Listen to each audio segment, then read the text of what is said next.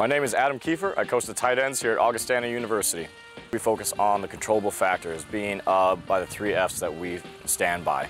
Uh, so as an offense, we go by controllable factors, but then we break it down even further uh, to a tight end group, and we focus on the aspects of being focused, fast, and fearless.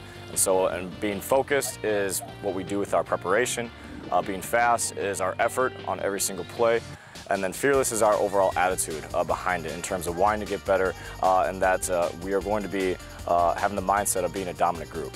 Uh, right now, uh, Jacob Cleveringa is going to be returning junior. a lot of great things that are going to be on the horizon for him. Uh, very athletic. He's more of our Swiss Army knife uh, within our offense at, at, the tight end position uh, for what we do offensively, to be able to line in a three-point on the line of scrimmage threat, as well as to be a hand up and being able also to split him out and utilize his athleticism in that capacity.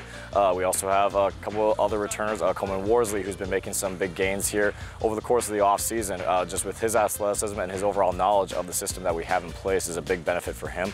Uh, and then a couple of our other returners that we have are Mitchell Goodberry and TJ Skradsky.